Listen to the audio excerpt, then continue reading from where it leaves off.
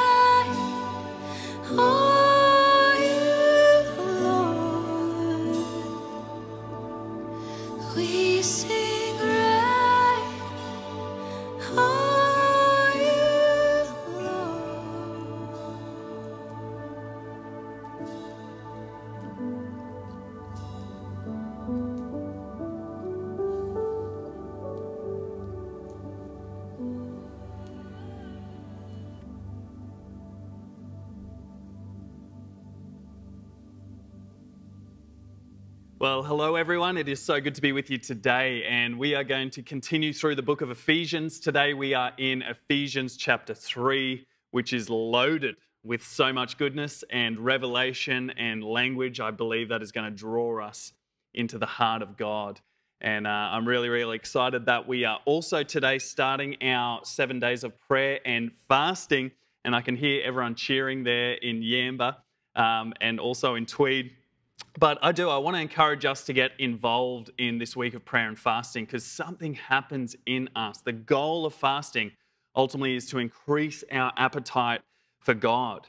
You know, often you would hear it said, hey, if you need breakthrough in your life, whether it be financial or relationally or in your health, then, then fast and believe for that breakthrough. And it sometimes can feel like with fasting, we're, we're trying to twist God's arm into giving us what we want or what we need. But I believe fasting is so much deeper and so much more beautiful than that. And that's what I want to press into. You know, when we grow in the revelation that we are children of God, and as children of God, we get God.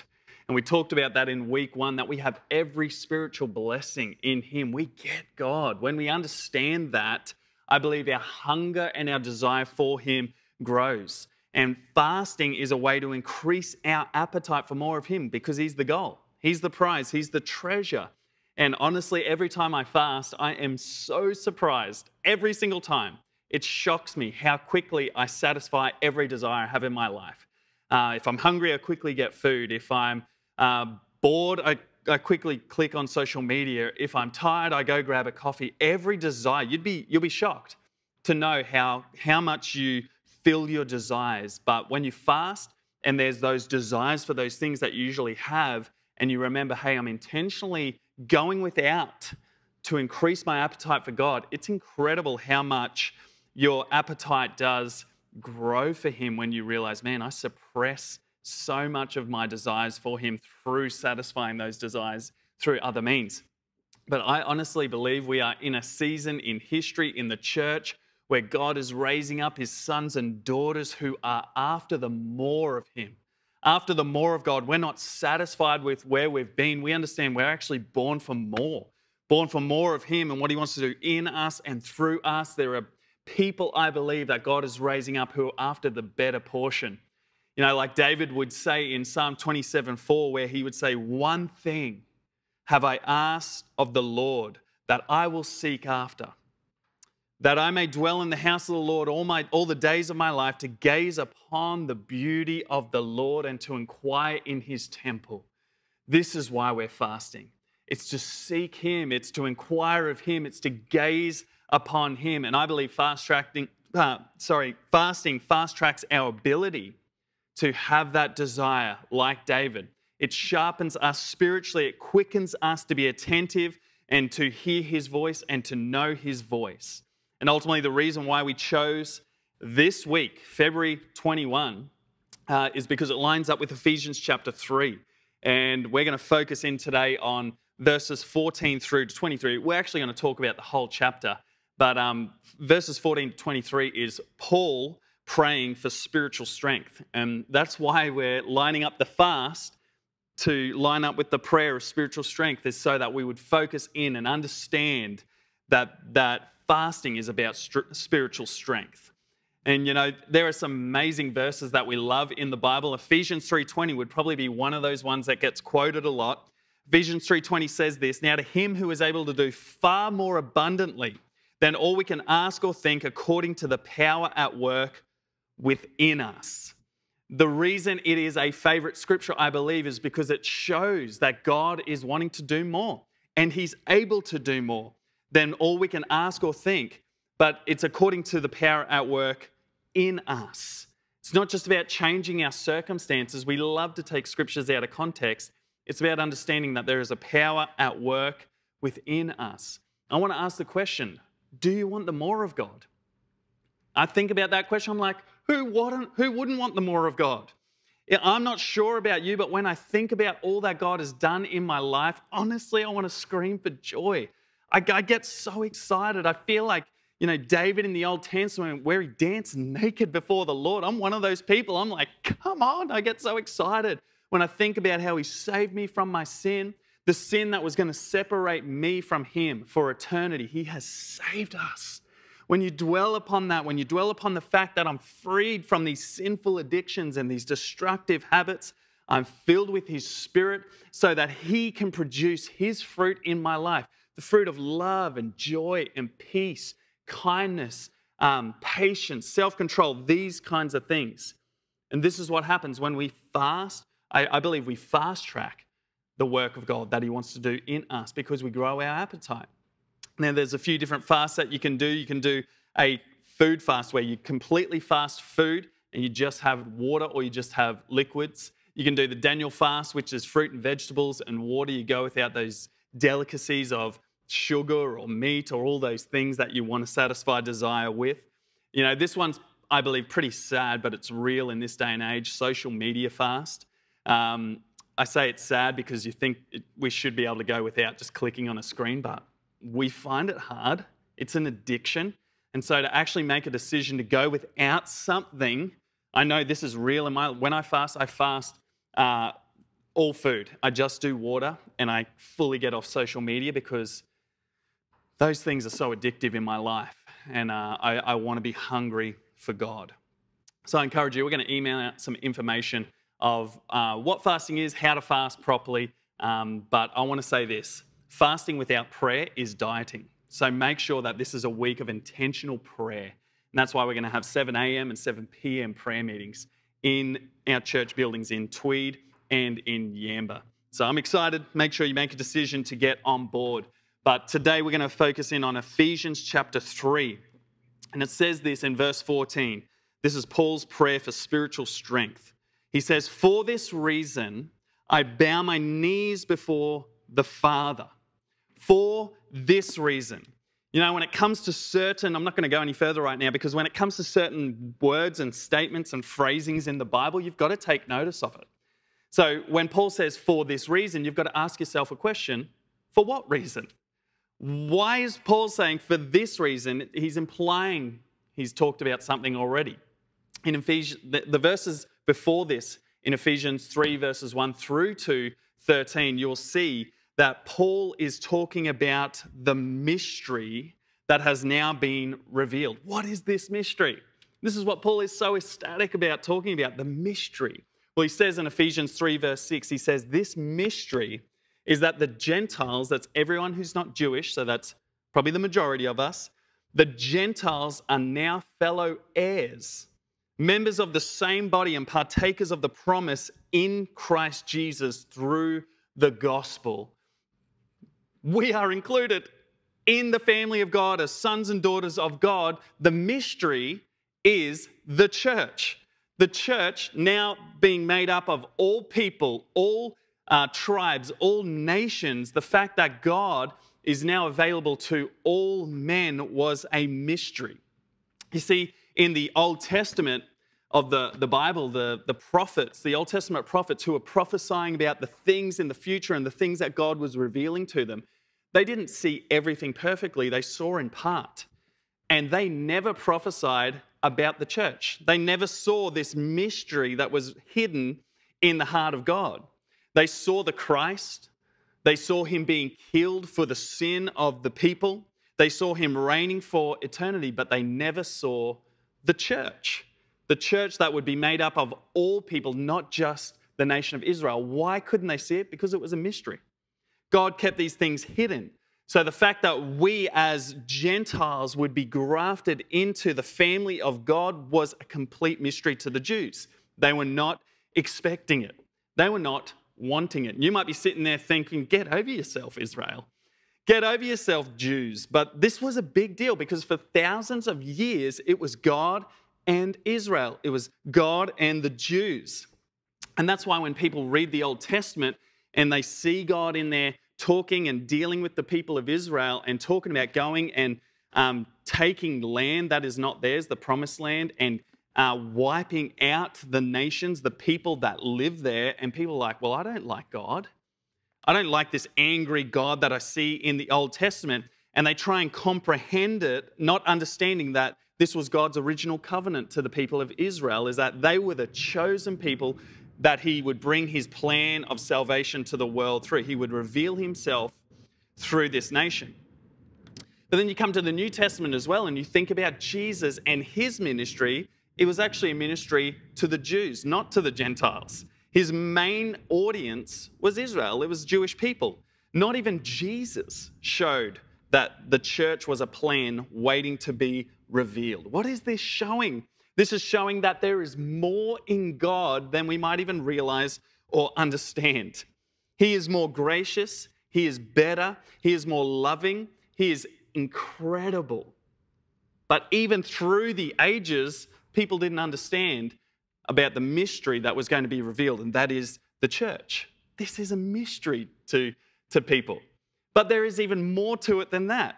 God wasn't just about to reveal something to the nation of Israel through the church, he was actually about to reveal to the heavenly realm, to the heavenly being, to angels and to demons. He was about to reveal to them something that they didn't even know about God. Goes on in chapter 3, verse 10, and says, So that through the church, the manifold wisdom of God might be now might now be made known to the rulers and authorities in the heavenly places. Think about this. These angels and these, well, they all started out as angels. They then became fallen angels, those ones that fell and became demons. Uh, these, these angels who were in the throne room of God, who saw the very untainted presence of a perfect, holy God. They knew who he was, they knew how incredible he was, but they didn't know what God was about to do. They had been in the untainted presence of God's throne room. They knew exactly the majesty and the wonder of who he was. They knew how holy and perfect he was and that he couldn't be faced with sin. Yet there was about to be a mystery revealed to these heavenly beings.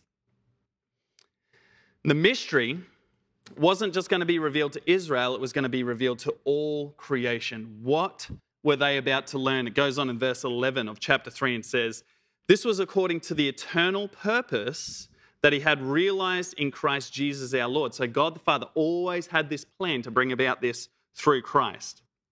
It says this in verse 12 In whom we have boldness and access with confidence through our faith in him. Here's what they were about to learn.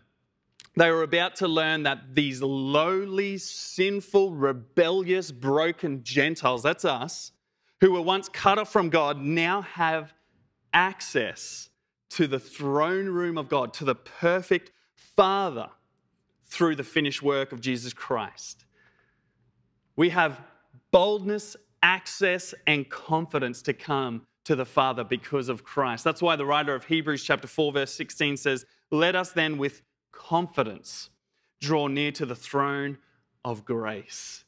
It's because of the finished work of Christ on the cross. We can have confidence, and these spiritual beings are like, oh my goodness. You know, just the other week, two weeks ago on a Sunday, I was sitting in my room before our large gathering here at Tweed, sitting in my office, and I was just praying and I was preparing my heart for the day, and I'm going through my message. I'm in the holy presence of God. I'm having this intimate moment with Him, and then all of a sudden, boom, my office door just gets thrown open, and guess who walks in? My kids my two sons, Kai and Lennox, and they walk in so confidently, confidently they're like, hey, dad. And uh, they, they just don't care that I'm in this special, intimate moment. They're just like, hey, dad. They walk in, they sit on these two meeting chairs that I have in front of my desk, and they just put their legs up over the chairs and they just start talking to me about the morning. And I sat there, and as I was like frustrated for one moment, I thought, this is what we're like before God. Not that He's angry and frustrated, but we can walk in that confidently before Him because of the throne room of grace that Jesus Christ has purchased for us. Not because of how good we've been, but because of how good Christ has been. And this is the gospel. And this is why this was going to reveal to these heavenly beings, these fallen angels, namely the devil and his demons, who were damned for eternity because of the sin that rose up in their heart, because they saw the holiness and the perfection of God, yet they still said, we want that glory for ourselves. They had known his fullness, they had seen his glory. Therefore, when they said, I want the glory, God threw them out for eternity. So that we, as the church now, when we walk through our life of pain and suffering that is involved even in the Christian journey, but we stand up and we say, God, you are good because He's doing something in us. There is a power at work in us. It is revealing to these heavenly beings, wow, He's better than I thought He was. He's bigger than I thought. The manifold, the many facets of God are being revealed even to these angels and to these demons. It was a mysterious plan, yet God chose to reveal it. The blood of Jesus was poured out not just for Israel, but for all people. That's like when the prophet Joel prophesied some 600 years before Jesus Christ came. He, God spoke through him and said, And it shall come to pass afterward that I shall pour out my spirit on all flesh. flesh. Even as a Jewish prophet, he was probably picturing that that was all of Israel. But God was saying, No, it's greater than that. It's on every single person. So that's why Paul says in verse 14, for this reason, for this reason that the mystery has now been revealed, that God has poured out his spirit for every single person to be a son and a daughter, to come into relationship with him. For this mind blowing reason being revealed, Paul is now praying for you. And he's praying for me, and he's praying for strength that as children in this new family of God, we would be able to understand and have a revelation of God's love for us. Goes on in verse 16 and says that according to the riches of his glory, he may grant you to be strengthened with power through the Spirit in your inner being. That according to the riches of his glory, when we understand God's ability to strengthen us is inexhaustible. It's inexhaustible. When you understand that there is unlimited power, there is unlimited resource in God, you are more likely to come to Him. You know, friends, it says in the Bible that in heaven there will be no sun because it's not needed because of the glory of God. Look at this Revelation chapter 21, verse 23. And the city, talking about this, this future city, this future kingdom, the city has no need of a sun or a moon to shine on it, for the glory of God gives its light, and its lamp is the Lamb, Jesus Christ being the Lamb of God. That's mind blowing. This is the glory that we would be strengthened according to the riches of His glory. Now, I don't know about you listening, but I know that I need His strength. I need this power at work in my life. If you've been a Christian for any amount of time, you would probably agree that it's just not all roses. It's not all dancing through fields of lilies. Like there is difficult times, there is troubles, there is hardship.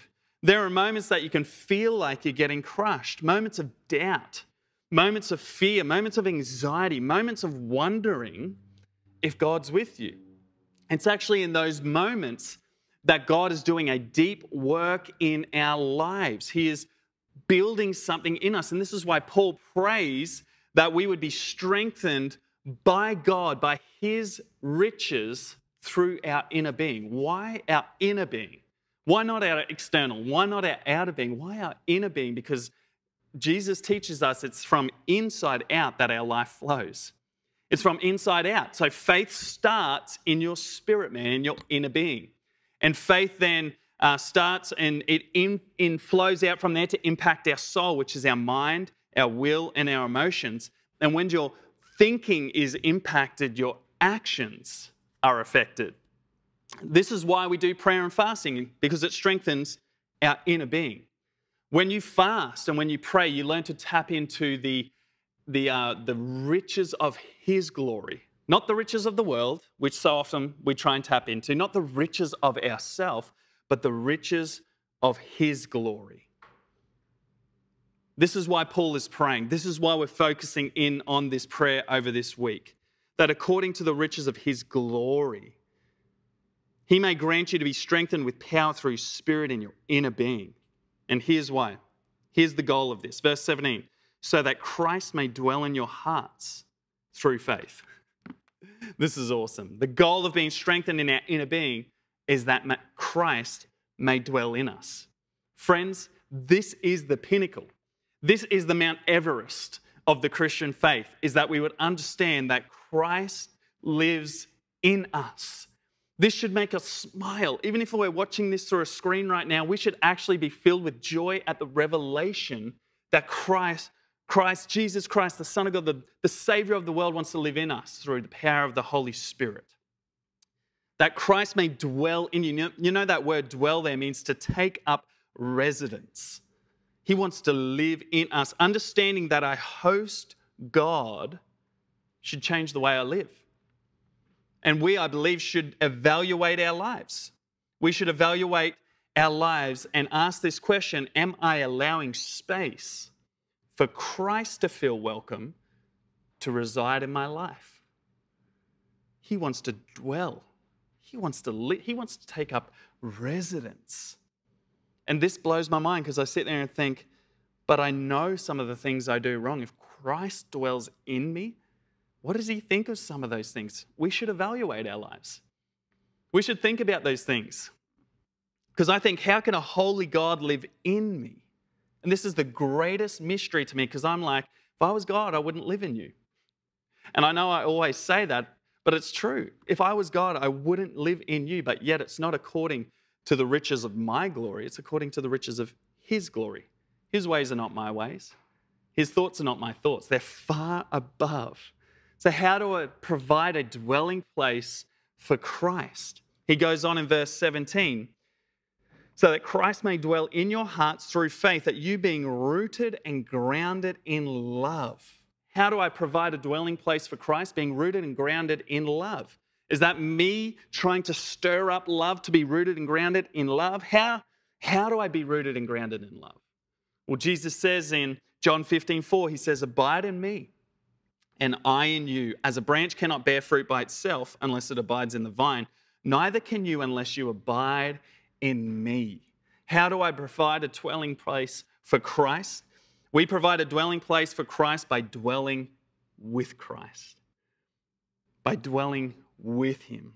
The roots of our lives are to go deep down into Christ, into His Word, in prayer, into His church it's not just to muster up your own strength to try and be rooted and grounded in love. Try really hard. It's to abide in Christ. Bob Goff says this he says, Jesus does not turn people into Christians, he turns them into love. When we abide in Christ, when we abide in His Word, when we abide in prayer, when we abide in the revelation that there's a power at work within us, the fruit of the Spirit starts to be produced love, joy, peace. Without abiding in Christ, we cannot produce that in our own strength. But Christ wants to dwell in us through faith, through believing in Him, that we would be rooted and grounded in love. We provide a dwelling place for Christ by dwelling with Christ. It goes on in verse 18 says, rooted and grounded in love, that you may have strength to comprehend with all the saints what is the breadth and length and height and depth, and to know the love of Christ that surpasses knowledge, that you may be filled with all the fullness of God. That we would be able to comprehend with all the saints. Friends, we need each other. We actually need each other to, to try and grasp what Paul calls the unsearchable riches of Christ. We actually need each other's help to do this. A friend of mine, Nath Cartledge, who's preached on here before, he's a part of our Tweed team here, has this great analogy of when you see an apple and you actually, if you're looking at an apple, you only see one side or one angle or one facet of that apple. But when there are people on all sides of the apple, everyone's seeing a different part of that apple. It's like that with God. When we are walking out this journey, we're all on different journeys and we all at different times see different facets of God. And when we're in community and when we're dwelling in the church as the saints, as the body, building one another up, we're able to tell about this side and this facet of God, of Christ, of his love that maybe someone else hasn't experienced. And Paul says it's not just about understanding with human intellect, but it's about experiencing God's love, that you would know. That word know there is actually the Greek word ginosko. That, that actually means to intimately experience. It's actually the word that they use for intercourse. Like it's that intimate, it's, it's that connected. This is how God wants to have a personal relationship with each and every one of us, that we would intimately experience Him, that we would know. He goes on and says, To know the love of Christ, you would experience Him that surpasses knowledge. That word knowledge there is the Greek word gnosis, which means general intellect or general intelligence. He doesn't just want us to have knowledge about who He is, He doesn't just want us to have knowledge about His love, He wants us to know. He wants us to experience. How on earth are we actually going to know and experience and comprehend the fullness of God dwelling in us? Well, that's where he goes on in verse 20. He says, Now to him who is able to do far more abundantly than we can ask or think according to the power at work within us. If you're like me, you, you would love to try and take this scripture, take it out of context, and make it about all the circumstances of life coming into alignment, having a long, happy, healthy life. But that's not what God's saying through Paul in this moment. He's saying, no, there's a power at work that is transforming us to actually understand the greatest privilege of all, and that's to know Christ. That's to experience Christ. That's to be in relationship with Him. That's to be transformed into His image. And this is the prayer that we're focusing in on this week. Over seven days, we're just going to pray through Ephesians chapter 3, verse 14 through to 21, that we together may know. We may know Him, intimately know Him, not just know about Him, but know Him. And today I want to ask that question Do you know Him? Have you experienced Him? Is there a deep, deep understanding through that experience of the love that He has for you, that you're a part of the mystery that has been revealed to the world, to the heavenly beings, that the love of God is greater? that His plan is greater. Then, if you don't, I want to pray for you right now, my friend. And for the rest of us, if we know that love, I pray that there would be a revelation of the more that God wants to do in us.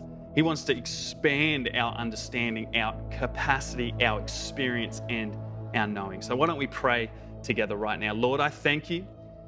Thank you for every person who's listening to this word right now. Lord, I thank you for your word. Lord, that it reveals to us who you are and what you're doing. God, I thank you for uh, Ephesians chapter 3. Lord, that the mystery that is revealed, that we are a part of that mystery. And God, I pray that we would tap into the riches of your glory.